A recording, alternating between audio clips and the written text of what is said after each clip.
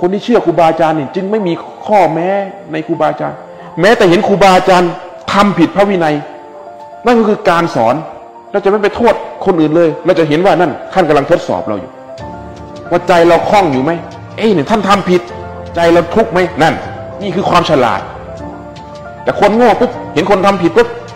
เอาละทีนี้ทำไมท่านทำอย่างนั้นทำไมท่านทำอย่างนี้เห็นหลวงปู่ชาไหมเมื่อก่อนทดสอบลูกศิษย์ ลูกศิษย์ฉันข้าวในบาตรแต่ท่านฉันในพา พระฝรั่งเห็นนี่ก็เริ่มตำหนิแล้วว่า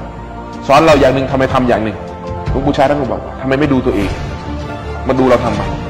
มายึดมั่นถือมั่นในเราทำไมนี่คือผู้ฝึกตนเราต้องมีแต่เราเราต้องเห็นแก่ตัวจริงๆนะต้องเห็นตัวเราจริงๆ เห็นเราคนเดียว อย่าไปเห็นคนอื่น เห็นคนอื่นเพื่อมาสอนเรา ไม่ได้ไปตำหนิคนอื่นอยากอยากได้พระดีเราก็ทำให้ตัวเองเป็นพระดี อยากได้คนดีเราทำตัวเองคนดี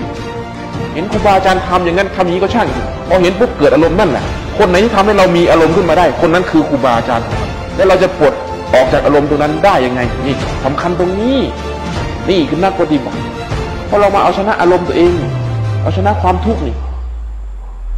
เห็นไหมแต่ถ้าไม่มีใครชี้เราเห็นทุกข์ป๊บนี่ เราจะไปชนะอะไรล่ะนะ